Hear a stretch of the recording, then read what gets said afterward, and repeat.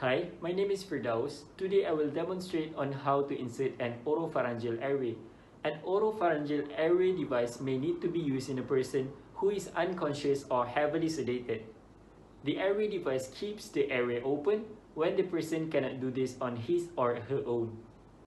A oropharyngeal airway device is inserted into the person's mouth and only be used in an unconscious person because it can cause gagging and choking in an conscious person.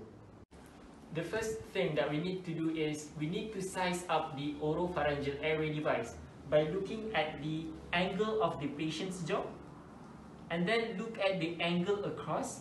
We need to go as the same level as the patient. We can start to put the oropharyngeal device into the patient's mouth. And remember, you need to invert it in which you turn it upside down Insert it until you reach the hard palate. When you reach the hard palate, you can then turn it around and then locate it into the airway, nicely into the oropharynx.